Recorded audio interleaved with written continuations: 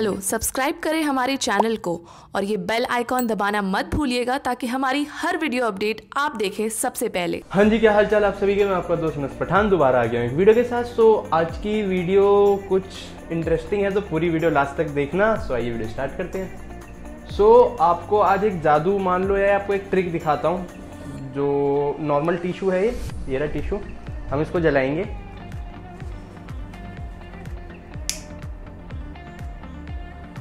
ये जल जाएगा नॉर्मल सी बात है।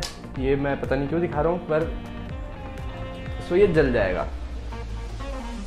पर अगर हम छोटी सी ये छन्नी है, आपको पता होगा, अगर हम हल्की सी ये ऐड करेंगे, इसके अंदर सेम चीज़ हमने टिशू फाड़ा और ये इसके अंदर रख दिया।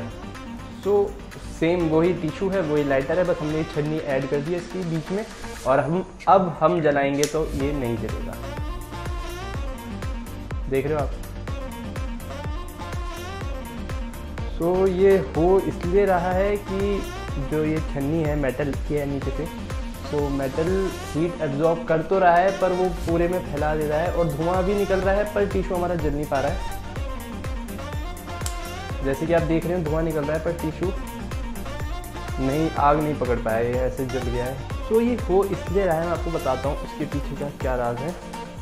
ये जो छन्नी आप देख रहे हो, ये मेटल का है और ये छोटे छोटे इसमें छेद होते हैं। आपको पता है ये छन्नी जैसी होती है। ये सीधा ऐसे हम जलाएँगे तो ये सीधा टिश्यू आग पकड़ लेता है और ये जल जाता है। पर अगर हम इसके अंदर से क्या हो रहा है कि जब हम ये जला रहे हैं, ये मेटल हीट एब्जॉर्ब कर ले रहा है और फैल जाता है और ऊपर अगर हम टिश्यू रख रहे हैं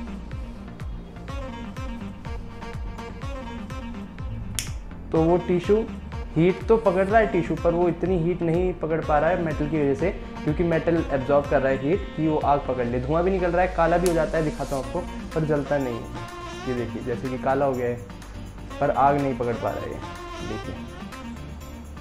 तो ये छोटी सी सिंपल सी ट्रिक थी। आई होप आपको ये अच्छी लगी हो। अच्छी लगी है तो इस वीडियो को लाइक कर दें। ना लगी हो, फिर भी लाइक कर दें। देखो, आपके लिए मेहनत से हम वीडियो बनाते हैं। और लाइक करोगे तो उससे हमारे अंदर एक कॉन्फिडेंस आएगा और हम आपके लिए ऐसी अच्छी वीडियो लाते रहेंगे। और जो पहली बार ये वीडियो देख रहा है सब्सक्राइब कर दें हमारा चैनल और इस वीडियो को शेयर कर दें और मिलते हैं नेक्स्ट वीडियो में। Take care